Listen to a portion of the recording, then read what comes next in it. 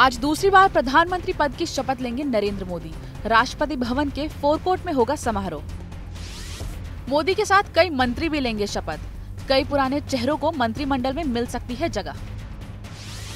BJP के संगठन महासचिव के साथ भी शाह ने की बैठक, संभावित मंत्रियों को लेकर माथापच्ची।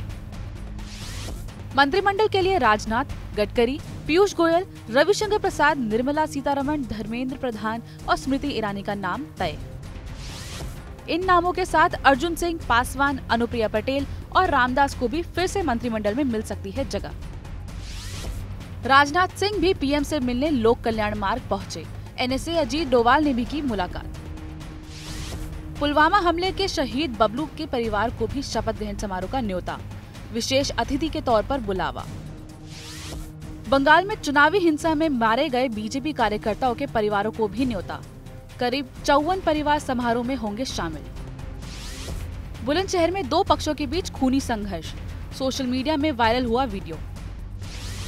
कुशीनगर में पंचायत का शर्मनाक फरमान। रेप का मामला रफा दफ़ा करने की कोशिश।